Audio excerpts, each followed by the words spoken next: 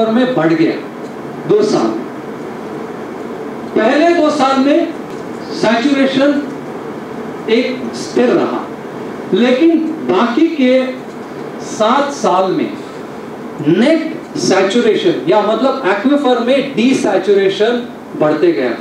और अंतिम साल में 93 में डी सैचुरेशन की लेवल लगभग एक्विफर की जो मोटाई थी उस मोटाई के इतना डी सैचुरेशन एक्विफर में हुआ मतलब इस साल एक्विफर का, के तल तक पानी का लेवल चला गया।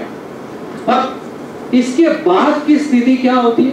इसके बाद की स्थिति वो स्थिति है जो बहुत सारे इलाकों में इस देश में हुआ है कि एक बार एक्वेफर के बेस में तल में पानी चला जाता है, उसके बाद वहाँ डीप ड्रिलिंग की संभावना ज़्यादा बढ़ती है। इस एरिया में वैसे ही कुछ हुआ, लेकिन यहाँ गहरे एक्विफर न होने के कारण डीप ड्रिलिंग में अपने आप ही एक निर्बंध पाया गया। आगे बढ़ते हैं। अब ये है सिक्किम के अंदर स्प्रिंग्स कुछ सात या आठ स्प्रिंग्स के डिस्चार्जेस हैं। लगभग एक ही इलाके के स्प्रिंग्स हैं। ये दो सीज़न के रेनफॉल है। और आप ये देख सक, देख सकते हैं कि एक स्प्रिंग में बहुत ज़्यादा डिस्चार्ज हो रहा है। तो discharge is very high it goes to 100 litres per minute बाकी के जो स्प्रिंग्स हैं उसमें से कुछ स्प्रिंग्स सीजनल है जैसे ये लाल वाला। कुछ स्प्रिंग्स लो डिस्चार्ज के लेकिन पूरे साल चलने वाले हैं। और ये स्प्रिंग बहुत ही वेरिएबल डिस्चार्ज का स्प्रिंग है।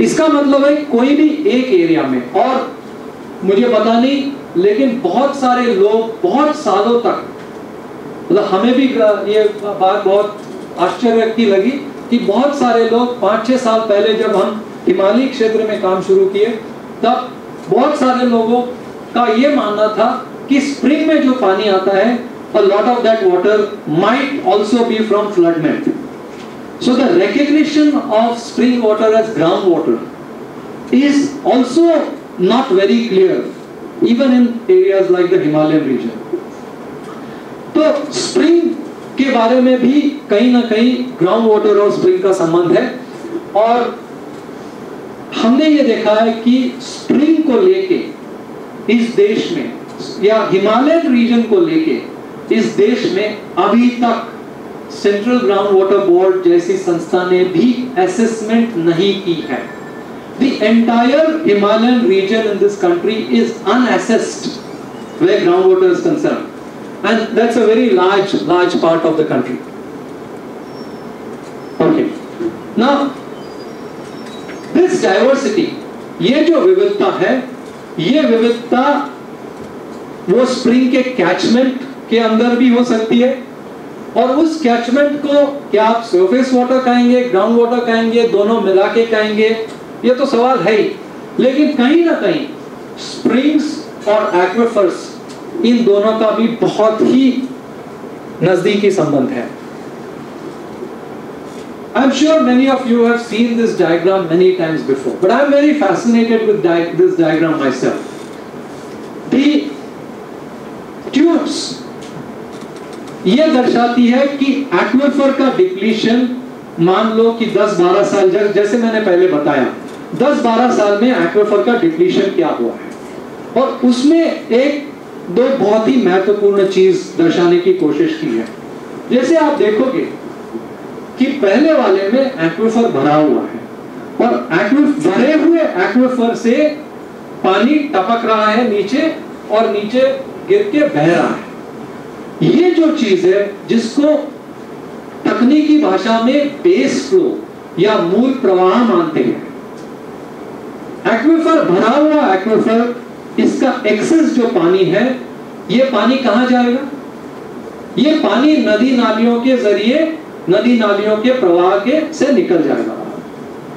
अब इसको आप निकल जाना, बह जाना वेस्ट होना, ये कहेंगे या इसको आप इकोलॉजी या एनवायरनमेंट को भूजल का योगदान कहेंगे। ये एक बड़ी समस्या है, क्योंकि हम मानते हैं कि कोई भी असेसमेंट जब होता है ग्राउंड वाटर का तो उसमें there is this whole concept of ground water being wasted away to the sea भूजल का समुद्र की तरफ़ प्रवाह होके उसका नाकाम होना इसलिए इस पानी को बिना लिए हम इसको अगर छोड़ देते हैं तो वो वेस्टेड वेस्टेड माना जाता है। और इसीलिए अभी भी बहुत सारे इलाकों में ये एक्सप्लोरेशन की जो बात मैंने की, कि पानी ढूँढने की बात की, कि पानी ढूंढना ताकि वो वेस्ट न जाए। सो ये एक सवाल है कि क्या हम इसे वेस्ट मानते हैं या क्या इसका कुछ उपयोग है?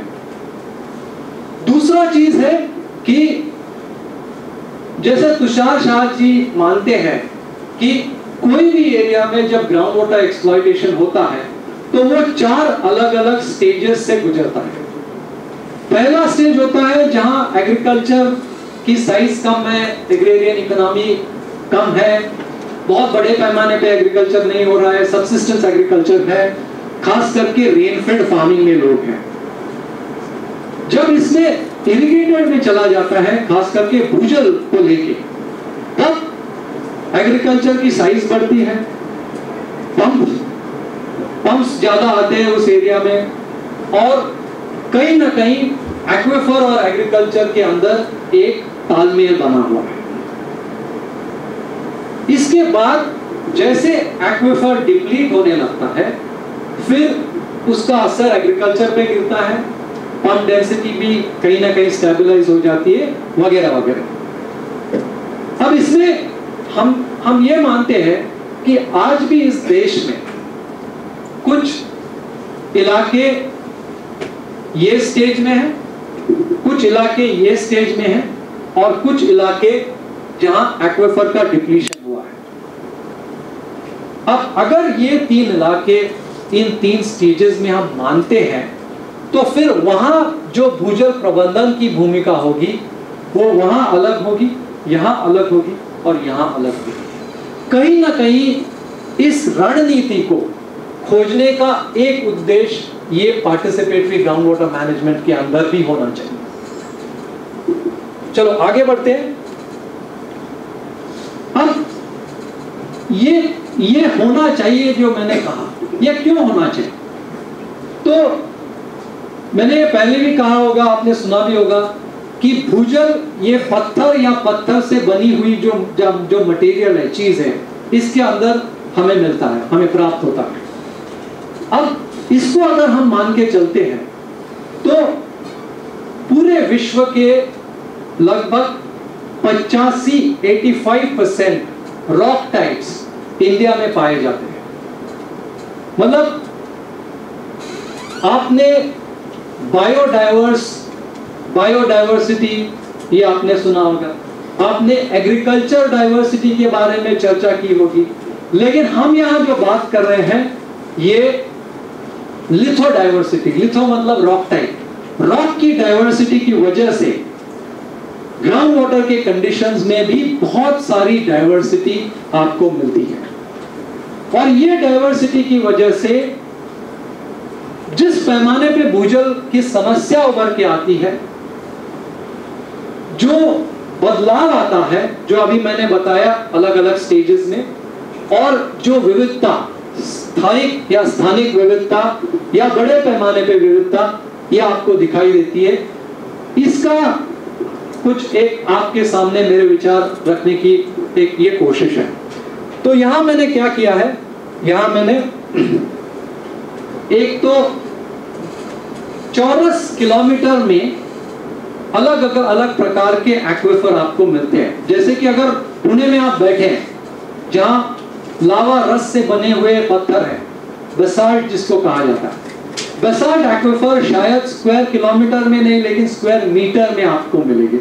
इसका पैमाना ज़मीन के ऊपर ये स्क्वायर मीटर पे आपको मिलेगा। अगर आप घाट के क्षेत्र में चले गए, उत्तर प्रदेश, बिहार, पंजाब, हरियाणा तो वहाँ एक्वेफर का पैमाना हो सकता है हज़ारों चौरस kilometre thousand of square kilometre दूसरी तरफ़ मैंने लैंडस्केप जो हमने पहले एक अलग अलग रंग के कार्ड्स पे आ, आपने जो जवाब लिखे हैं वो पैमाने को देखने की कोशिश की है। कि एक प्लॉट साइज़ है। एक किसान हूँ मैं, मेरा एक छोटी सी ज़मीन है, उसके अंदर एक कुआँ है। ये एक पैमाना हो गया। एक गाँव है, या वाटरशेड है, ये दूसरा पैमाना हुआ।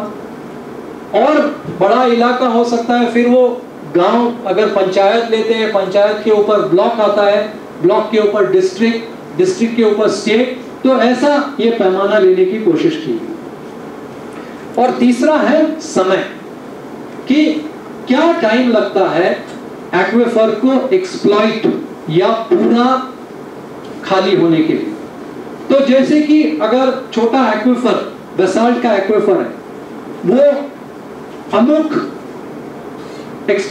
पंपिंग से अगर पाँच साल में खाली होता है तो उस पंपिंग से अलूवियल एक्वेफर नहीं खाली होना। उसको और लंबा समय लगेगा। तो ये समय की एक, समय का मापन या समय का प्रमाण दर्शाने की कोशिश की है। और चार प्रकार के एक्विफर्स मैंने कंसिडर किए हैं यहाँ। हार्ड रॉक जो ज़्यादातर साउथ इंडिया में पाए जाते हैं, थोड़ा थोड़ा बहुत गुजरात में भी है, महाराष्ट्र में भी है सेंट्रल इंडिया में थोड़े बहुत एक्विफर्स है।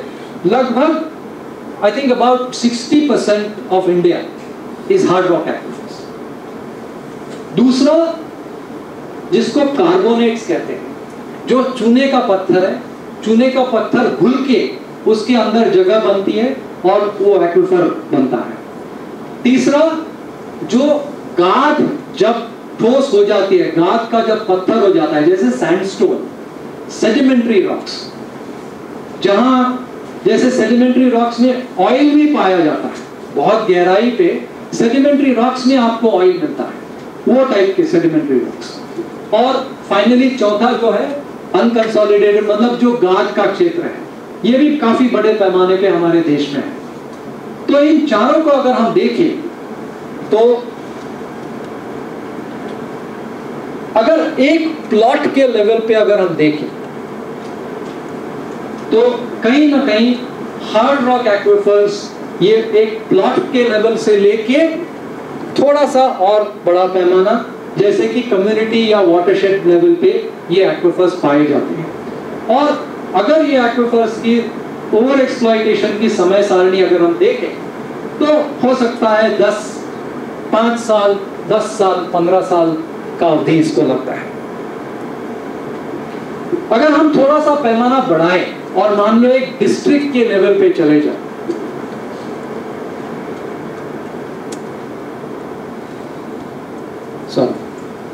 तो कार्बोनेट्स के एक्विफर्स जो है, चूने के एक्विफर्स वो लोकल लेवल से बहुत बड़े पैमाने के लेवल तक आपको प्राप्त होंगे और इसका टाइम ऑफ़ एक्सप्लॉयटेशन भी आपको ज़्यादा लंबे समय तक मिलेगा।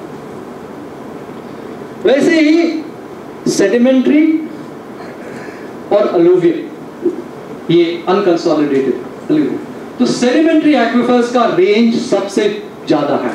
जैसे अगर आप इजिप्ट और ये एरियाज़ में चले गए तो वहाँ एक बहुत बड़ा एक्विफर या एक्विफर सिस्टम जिसको कहते हैं न्यूबियन सैंडस्टोन करके सैंडस्टोन का एक्विफर है। इसका पैमाना बहुत बड़ा है।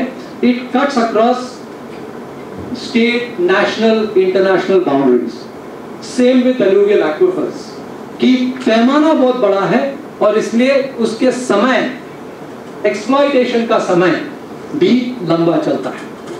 अब ये ये सारी जो चीज़ें हैं, ये अभी तक जो थ्योरी में पढ़ाई जाती है साइंस में, और इसका प्रैक्टिकल इंप्लीकेशन क्या है, इसका सामाजिक, इसका परिणाम क्या है, इसमें आर्थिक स्थिति क्या है, इसमें बहुत सारी चर्चा नहीं हो रही।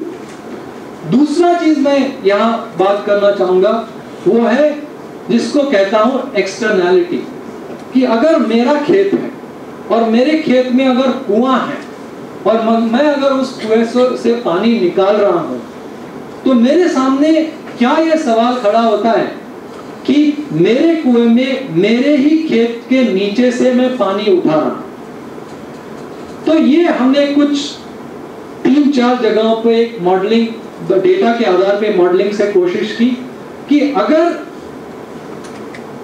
मेरे इस खेती के लिए। मैं, मेरे कुएँ से अगर पानी निकाल रहा हूँ, और वो अगर मेरे बगल वाले तीन यूनिट्स में, मान लो मेरा खेत एक हेक्टर का है, और जो आधे हेक्टर के क्रॉपिंग के लिए मैं पानी जो कुएँ से निकाल रहा हूँ, वो अगर चार हेक्टर के नीचे वाले एक्वेफर से आ रहा है तो एक तरह से मेरे ख्याल से ये एक एक्सटर्नैलिटी है मेरे लैंड प्लॉट के मैनेजमेंट के लिए। हो सकता है कि इन लोगों ने भी अगर एक एक कुआ निका, निकाला और यही प्रकार का एग्रीकल्चर वहाँ बिठाया तो चार गुना चार सोलह हेक्टर के नीचे से वो पानी आ रहा है ले रहा है। मतलब ऐसे अगर हम बाहर इसको लेके जाए तो हो सकता है कि कहीं ना कहीं वो एक्वेफर की बाउंड्री या वाटरशेड की बाउंड्री या विलेज की बाउंड्री पे भी असर पड़े। या उससे भी बाहर से पानी वो ले रहा है। एक ये चीज़ है। दूसरी जो चीज़ है which is really external to the ground water भूजल से भी एक्सटर्नल है। वो चीज़ ये है और इसमें से हम बहुत सारे एरियाज़ में आ,